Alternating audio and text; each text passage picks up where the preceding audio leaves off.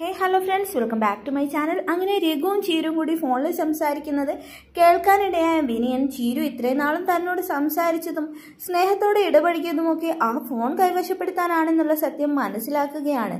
അതുകൊണ്ട് തന്നെ ഈ അവസരം നന്നായിട്ട് ഉപയോഗിക്കാൻ തന്നെയാണ് വിനയൻ തീരുമാനിച്ചിരിക്കുന്നത്. ഈ ഒരു സമയത്ത് താൻ എന്താവശ്യപ്പെട്ടാലും തന്റെ എല്ലാ ആഗ്രഹത്തിനും ചീരു കൂട്ടുനിൽക്കും. അതിനും മൗനം സമ്മതം എന്ന പോലെ മിണ്ടാതെ നിൽക്കുകയുള്ളൂ എന്ന് വിനയന് മനസ്സിലാവുകയാണ്. നിങ്ങൾ എല്ലാവരും എന്നോട് എന്തിനാണ് സത്യം മറച്ചു വെക്കുന്നത്? ആ ഫോണിന് ഇത്രമാത്രം പ്രശ്നം ഉണ്ടെങ്കിൽ അതിന്റെ ഉള്ളിൽ എന്താ ഉള്ളതെന്ന് നിങ്ങൾക്ക് അറിയുമായിരിക്കുമല്ലോ എന്നെല്ലാം വിനയം പറയാണ്. അങ്ങനെ എന്തായാലും അതിന്റെ ഉള്ളിൽ എന്താണ് എന്നുള്ള കാര്യം അറിയാതെ താൻ ഒരിക്കലും ആ മൊബൈൽ ഫോൺ തരാൻ പോകുന്നില്ല എന്ന് വിനയൻ പറയുകയാണ്. അത് കേട്ടപാടെ മറ്റൊരു വഴിയില്ലെന്ന് മനസ്സിലാക്കിയ ചിലങ്ക ആ ഫോൺ മഞ്ചാടിയുടെ എന്തോ ദൃശ്യങ്ങളുണ്ടെന്ന് സംശയിക്കുന്നുണ്ടെന്നും കറ കൃത്യമായിട്ട് അതിൽ എന്താണുള്ളതെന്ന് തനിക്ക് അറിയില്ലെന്നും അന്ന് കോളത്ത് വെച്ച് മഞ്ചാടിയെയും ജീവൻ എന്ന് പറയുന്ന പയ്യനെയും അവിടെ ഒരു പ്രശ്നം ഉണ്ടായിരുന്നില്ലേ? അന്ന് ആ ജീവന്റെ കയ്യിൽ നിന്ന് നഷ്ടപ്പെട്ട ഫോണാണെന്നാണ് അത്. അയാൾ അയാളൊരു ചതിയനാണെന്നാണ് എല്ലാവരും പറയുന്നത്. അയാളുടെ തനിനിറം പുറത്ത് അറിയണമെങ്കിലും ഗോകുലിന്റെ നിരപരാധിത്വത്തിനും സത്യാവസ്ഥ പുറത്ത് അറിയാനും ആ മൊബൈൽ ഫോൺ കിട്ടിയേ തീരൂ എന്നാണ് രഘുവേട്ടൻ എല്ലാവരും പറയുന്നത്. ഞങ്ങൾ അതിൽ എന്തെങ്കിലും ഉണ്ടെന്ന് സംശയിക്കുന്നതല്ലാതെ അതിൽ എന്താ ഉള്ളതെന്ന് സത്യമായിട്ട് അറിയത്തില്ലെന്നും ചീരു പറഞ്ഞു.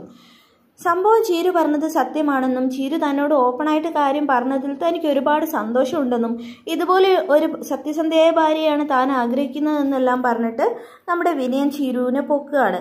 അങ്ങനെ വിനയന്റെ ആഗ്രഹത്തിനനുസരിച്ച് എന്നെ ചീരുവിന് ആ രാത്രി ചെലവഴിക്കേണ്ടി വരികയാണ്. പിറ്റേന്ന് നേരം വെളുത്താൽ തന്നെ മൊബൈൽ ഫോണ് രഘുവേട്ടന് കൈമാറാമെന്നായിരുന്നു രാത്രിയായപ്പോൾ വിനയൻ പറഞ്ഞത്.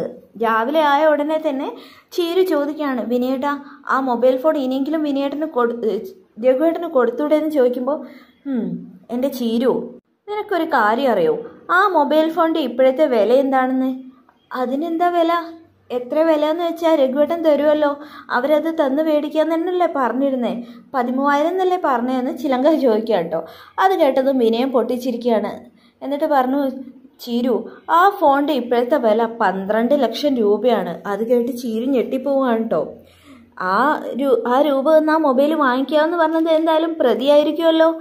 അപ്പം പിന്നെ വാദികൾക്ക് ആ ഫോൺ ഞാൻ വിട്ടുകൊടുക്കണമെങ്കിൽ അതിനേക്കാൾ കൂടുതൽ ക്യാഷും ലാഭവും എനിക്ക് കിട്ടണ്ടേ ചീരു എന്ന് ചോദിക്കാം അത് കേട്ട ഉടനെ നമ്മുടെ ചീരു ഞെട്ടിപ്പോവാ. വിനയേട്ട മഞ്ചാടിയുടെ ജീവിതം വെച്ചാണോ വിനയേട്ടൻ വില പേശുന്നത്? ഹാ നിന്റെ വീട്ടുകാർ മുൻപേ പണം തരാന്ന് പറഞ്ഞ എന്നെ പറ്റിച്ചവരല്ലേ? അപ്പം വാദിഭാഗം ആരൊക്കെയാന്ന് വെച്ചാലേ അവരുടെ കയ്യിൽ നിന്ന് അതിനേക്കാൾ കൂടുതൽ പണം വാങ്ങി. എന്നെ എന്റെ അടുത്ത് നീ മൊബൈൽ ഫോൺ വാങ്ങിച്ചോളൂ. പിന്നെ ഗോകുലിന്റെ വീട്ടുകാരും ഇപ്പോൾ വാദിഭാഗത്താണല്ലോ. പന്ത്രണ്ട് ലക്ഷവും പതിനഞ്ച് ലക്ഷവും ഒന്നും സച്ചി സാറിനൊരു വിഷയമേ അല്ല. മകനെ പുറത്തിറക്കാൻ വേണ്ടി കോടികൾ വരെ പുള്ളി ചെലവാക്കിയെന്ന് വരും. അതുകൊണ്ട് നീ എന്തായാലും ഒന്ന് അന്വേഷിക്കുക ആലോചിക്ക്. എന്നിട്ട് എന്നെ തീരുമാനം അറിയിച്ചാൽ മതി. എന്തായാലും ഒരു നഷ്ടക്കച്ചവടത്തിന് വിനയൻ എന്തായാലും തയ്യാറല്ല. എന്റെ വില ഇപ്പോഴാണല്ലോ നിങ്ങളെല്ലാവരും മനസ്സിലാക്കിയത്. അതുകൊണ്ട് ഈ ഫോണ് ഞാൻ തരണമെങ്കിൽ എനിക്ക് എന്റെ ലാഭം കിട്ടിയേ തീരുമെന്ന് വിനയം പറയാൻ കേട്ടോ അങ്ങനെ ചിലങ്ക ആകെ പ്രതിസന്ധിയിലാവുകയാണ്. തന്റെ അനിയത്തിയുടെ ജീവിതം വെച്ചിട്ട് ഇങ്ങനെയൊരു വിലപേശൽ തന്റെ ഭർത്താവ് നടത്തുന്നു. ഛേ ഇയാളൊക്കെ ഒരു മനുഷ്യനാണോ എന്നാണ് കേട്ടോ ചീരു ചിന്തിക്കുന്നത്. അങ്ങനെ ചീരു പെട്ടെന്ന് തന്നെ ഫോണെടുത്ത് രഘുവിനെ വിളിക്കുകയാണ്. എന്നിട്ട് രഘുവിനോട് പറയാണ് രഘുവേട്ടാ എനിക്ക് ഇന്നലെ കാര്യങ്ങളെല്ലാം വിനയേട്ടനോട് തുറന്ന് പറയേണ്ടി വന്നു. അല്ലാതെ ആ മൊബൈൽ ഫോൺ തിരികെ തരില്ലെന്നുള്ള വാശിയിലായിരുന്നു വിനയേട്ടൻ. എന്നിട്ട് എല്ലാ സത്യങ്ങളും ഞാൻ പറഞ്ഞു.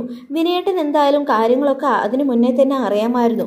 പിന്നെ എന്റെ വായിൽ തന്നെ അത് കേൾക്കണം എന്ന് പുള്ളിക്ക് നിർബന്ധം ഉണ്ടായിരുന്നു അതുപോലെയാണ് എന്നോട് പെരുമാറിയത്. വിനയേട്ടൻ എന്തായാലും ആ ഫോൺ വീഡിയോ എല്ലാം പരിശോധിച്ചിട്ടുണ്ട് എന്നുള്ള കാര്യം ഉറപ്പാണ്. മാത്രമല്ല ആ ഫോൺ തിരികെ കൊടുക്കാൻ വേണ്ടി ജീവൻ രാജ് വിനയേട്ടനെ സമീപിക്കുകയും ചെയ്തിട്ടുണ്ട്. വിനേട്ടൻ അങ്ങോട്ട് പോയി വിലവേശിയതാണോ എന്ന് എനിക്കറിയില്ല.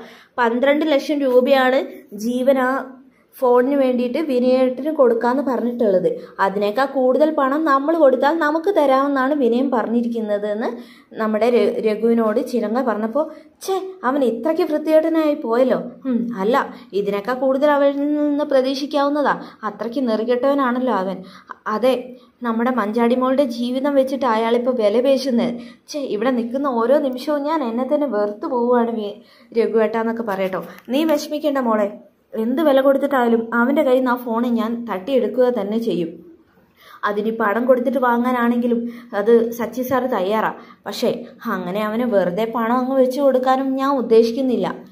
ആ എന്തായാലും ഞാൻ ദാസ് അങ്കിളിനോടും സച്ചി സാറിനോടും ഒന്ന് സംസാരിക്കട്ടെ. അതിനുശേഷം ഞാൻ എന്തായാലും അങ്ങോട്ട് വരികയോ വിളിക്കുകയോ ചെയ്യാന്ന് പറഞ്ഞിട്ട് രഘു ഫോൺ വെക്കുവാണ്. രഘു നേരെ പിന്നീട് ചെന്നെന്ന് ദാസങ്കളുടെ അടുത്താണ് കേട്ടോ. എന്നിട്ട് ദാസങ്കിളിലൂടെ കാര്യങ്ങളൊക്കെ പറയാണ്. പക്ഷേ വിനയൻ ഇത്ര അബദ്ധപ്പതിക്കുമെന്ന് ഞാൻ വിചാരിച്ചില്ല. അവൻ ഇതല്ല അങ്കളെ ഇതിന്റെ അപ്പുറം അധപ്പതിക്കുന്നവനാ അതെനിക്കറിയാം. ആ എന്തായാലും ഫോൺ അവൻ ആ ജീവന് കൈമാറുന്നതിന് മുന്നേ നമുക്ക് കിട്ടിയിരിക്കണം. തൽക്കാലം നമുക്ക് സച്ചിയോട് വിവരം പറയാമെന്ന് പറയാണ് കേട്ടോ. സച്ചി സാറിനോട് ഈ വിവരം പറഞ്ഞപ്പോൾ എത്ര ലക്ഷം കൊടുത്തിട്ടാണേലും വേണ്ടില്ല. എന്റെ മകനെ പുറത്തിറക്കാവുന്ന ഒരു തെളിവ് അതിലുണ്ടെങ്കിൽ അതിനുവേണ്ടി എത്ര പൈസ മുടക്കാനും ഞാൻ തയ്യാറാണെന്ന് തന്നെ സച്ചി സാറ് പറയാണ്. അപ്പോൾ രഘു പറഞ്ഞു ഒരു പണം കൊടുക്കാതെ അവന്റെ അടുത്ത് നിന്ന് ആ ഫോൺ വാങ്ങിക്കാനുള്ള വഴിയൊക്കെ എനിക്കറിയാം. വേണ്ട രഘു ഒരു റിസ്ക് എടുക്കണ്ട.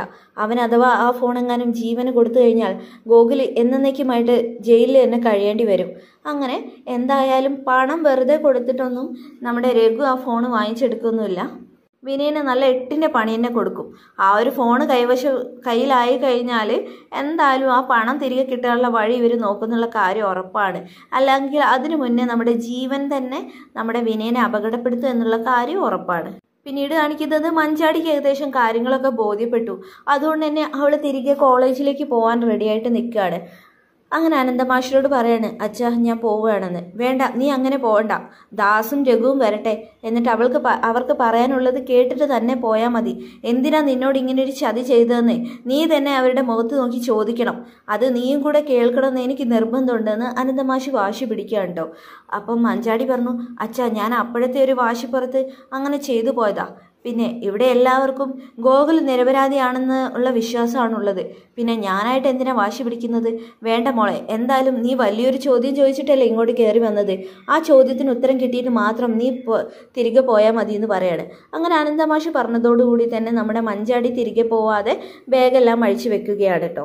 ദാസങ്ങളും രഘു ആണെങ്കിലോ ആ ഒരു ഫോൺ കൈക്കലാക്കിയതിന് ശേഷം മാത്രമേ അനന്തമാഷിന്റെ മുന്നിലേക്ക് എത്തിയൂ എന്നുള്ള ഒരു തീരുമാനം എടുത്തിട്ടുണ്ട്. എന്തായാലും രഘുവിന്റെ കൈയും കാലും ഒടിച്ചിട്ടാണെങ്കിലും രഘു ആ മൊബൈൽ ഫോൺ കൈവശപ്പെടുത്തുക തന്നെ ചെയ്യും. അതിനു മുന്നേ നമ്മുടെ വിനയനെ കൊല്ലാനുള്ള ആസൂത്രണമൊക്കെയാണ് ജീവനും സുഹൃത്തുക്കളും കൂടി നടത്തുന്നത്. എന്തായാലും വിനയൻ അങ്ങനെ ഒരു അത്യാഹിതം സംഭവിച്ചു കഴിഞ്ഞാൽ ചീരുവും അതേപോലെ തന്നെ അനന്തമാഷിന്റെ കുടുംബവും ആ വഴി രക്ഷപ്പെടും. അങ്ങനെ ഒരു നല്ല ബുദ്ധി നമ്മുടെ ജീവന് തോന്നട്ടെ? അതിന്റെ പേരിൽ ജീവന് ജയിലിലും കിടക്കാമല്ലോ മൊബൈൽ ഫോൺ തിരികെ കിട്ടിയാൽ ഗോകുലിന്റെ നിരപരാധിത്വം എല്ലാവർക്കും വ്യക്തമാവുകയും ചെയ്യും. താൻ ചെയ്തു പോയ ഒരു തെറ്റിന്റെ പേരിൽ ഗോകുലിന് ഇത്ര നാളും കഷ്ടപ്പെട്ട് ജയിലിൽ കിടക്കേണ്ടി വന്നു എന്നുള്ള തിരിച്ചറിവിൽ നിന്ന് മഞ്ചാടിക്ക് ഗോകുലിനോടുള്ള തെറ്റിദ്ധാരണകളെല്ലാം മാറി പതിയെ ഒരു പ്രണയം പോയിടുന്നതും നമുക്ക് കാണാൻ കഴിയും. എന്തായാലും ഗോകുൽ കഴിഞ്ഞ കാലത്ത് ചെയ്തു പോയ തെറ്റുകളെല്ലാം തിരുത്താൻ തയ്യാറായി. എല്ലാ തെറ്റുകൾക്കും പ്രായശ്ചിത്തം എന്ന പോലെ ഒരു പുതിയ ജീവിതത്തിലേക്ക് കാലെടുത്ത് വെച്ചിരിക്കുകയാണ്. അതുകൊണ്ട് തന്നെ ഗോകുലിന്റെ ആ നിഷ്കളങ്കമായ സത്യസന്ധമായ പ്രണയം മഞ്ചാടി തിരിച്ചറിയുകയും അവർ തമ്മിൽ പുതിയൊരു ജീവിതം ഉണ്ടാകുകയും ചെയ്യും. നമുക്ക് പ്രത്യേകിക്കാം വീണ്ടും അടുത്ത കിടിലം വീഡിയോയിൽ കാണുമ്പോഴേക്കും thanks for watching my channel